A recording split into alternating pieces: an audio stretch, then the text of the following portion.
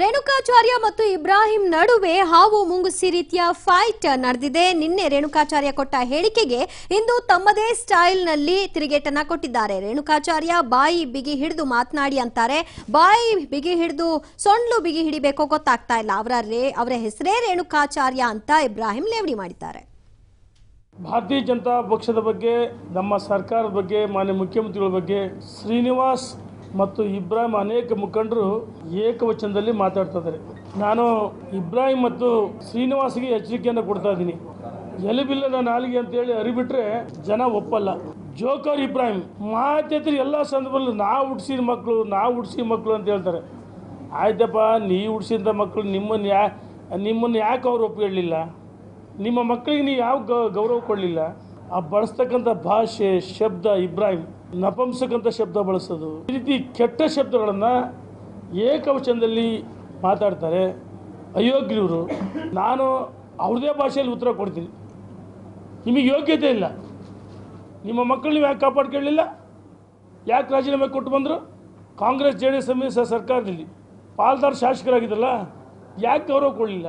ಇಬ್ರಾಹಿಂ ಭಾಳ ಪವಾಡ ಪುರುಷ ಹಿಂದೆ ಏನೇನು ಭದ್ರಾವತಿಯಲ್ಲಿ ಮಾಡಬಾರ್ದ ನೀಚಿ ಕೆಲಸಗಳನ್ನು ಹಲ್ಕ ದಂಧೆಗಳು ಮಾಡಿದೆ. ಇನ್ನೂ ಜನರ ಕಣ್ಮುಂದಿದೆ ಇಬ್ರಾಹಿಂ. ನೀನು ಮೊದಲು ಯಾವ ಪಕ್ಷದಲ್ಲಿದ್ದೆ? ನೀನು ಬಳಸಿದಂಥ ಭಾಷೆ ಬಳಸಿದ್ರೆ ಬೇರೆ ರೀತಿ ಅರ್ಥ ಆಗುತ್ತೆ. ಜನ ಒಪ್ಪಲ್ಲ. ನಾವು ಮಾತಾಡ್ತಕ್ಕಂಥ ರೀತಿ ನಮ್ಮ ವ್ಯಕ್ತಿತ್ವ ಜನ ನೋಡ್ತಾರೆ. ನಾನು ಎಚ್ಚರಿಕೆಯನ್ನು ಕೊಡ್ತೀನಿ ಬಿ ಜೆ ಪಿ ಬಗ್ಗೆ, ಮೋದಿಯವ್ರ ಬಗ್ಗೆ, ಯಡಿಯೂರಪ್ಪನವ್ರ ಬಗ್ಗೆ ಅಸಂಬದ್ಧ ಶಬ್ದಗಳನ್ನು ಏಕವಚನದಲ್ಲಿ ಬಳಸಿದರೆ, ನಮಗೂ ಅದೇ ಭಾಷೆ ಬಳಸಕ್ಕೆ ಬರುತ್ತೆ. ನಿಮ್ಮಂಥ ಅಯೋಗ್ಯರಿಂದ ನೀತಿ ಪಾಠ ಕಲಿಯ ಅವಶ್ಯಕತೆ ಇಲ್ಲ ಮೋದಿಯವ್ರ ಮುಂದೆ ನಿಲ್ಲ ತಾಕತ್ತಿಲ್ಲ. ಬಾಯಿ ಬಿಗಿ ಹಿಡಿಬೇಕು, ಸೊಡ್ಲ ಹಿಡಿಬೇಕು, ಅದು ಹೆಂಗ್ ಇಡಬೇಕು ಗೊತ್ತಿಲ್ಲ ರೇಣುಕಾಚಾರ್ಯರು, ಪಾಪ ಅವ್ರ ಹೆಸರೇ ರೇಣುಕಾಚಾರ್ಯ ಅಂತ. ರೇಣುಕಾಚಾರ್ಯ, ರೇಣುಕರ ಪ್ರಸಾದದಿಂದ ಹುಟ್ಟಿರ್ತಕ್ಕಂಥವ್ರವರು. ಅವ್ರಿಗೆ ಇಷ್ಟು ಮಾತ್ರ ಹೇಳ್ತೇನೆ. ದಯವಿಟ್ಟು ಸಂತೋಷ, ಕಟೀಲು, ಯಡಿಯೂರಪ್ಪ.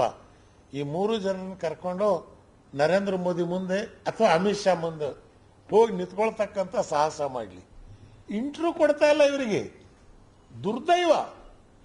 ಭಾರಿ ಚೆನ್ನಾಗಿ ಸಮನ್ವಯವಾಗಿದೆ. ಸತ್ರು ಬಾಯ ಬಿಡಬೇಡ ಅಂತಾರಲ್ಲ? ಕಾಲ್ಮೋಸ್ ಬೈಠಕ್. ಬೈಠಕ್ ಸರ್ಕಾರ ಇದು. ಎದ್ದೇಳೇ ಇಲ್ಲ. ಈ ಇವ್ರದ್ದು ಬೈಠಕ್ಕೆ ಸರ್ಕಾರ. ಒಂದ್ಸಲ ಬೈಠಕ್ ಆಗಿರೋದು ಎದ್ದೇಳ್ತಾ ಇಲ್ಲ. ಪಾಪ ಯಡಿಯೂರಪ್ಪನವರಿಗೂ ಬೈಠಕ್. ಇವತ್ತು ಅದು ಬೈಠಕ್ ಆಗೋಗಿದೆ. ಇವತ್ತು ಕೇಂದ್ರದವರು ತಿರುಗಿಸಿ ನೋಡ್ತಾ ಇಲ್ಲ. ತಿರುಗಿ ನೋಡ್ತಾ ಇಲ್ಲ. ಇವತ್ತು ಮೋದಿ ಅವರಿಗೆ.